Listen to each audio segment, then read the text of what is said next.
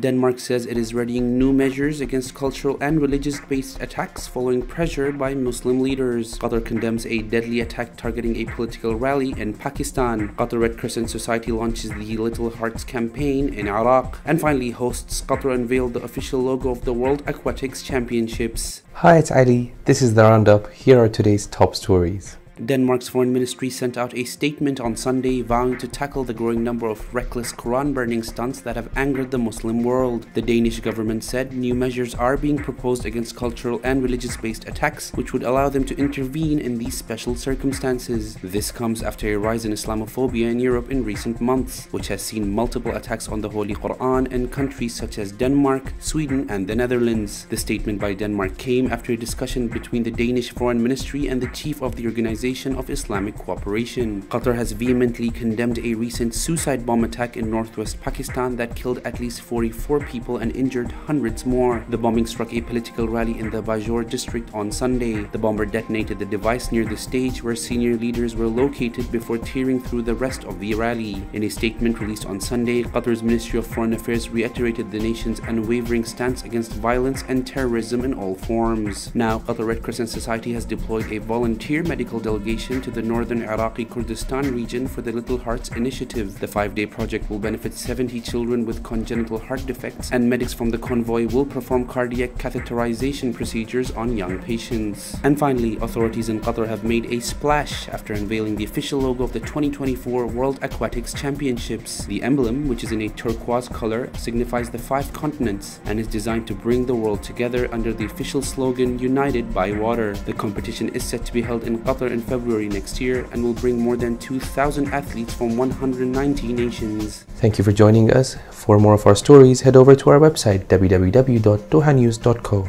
Have a great day.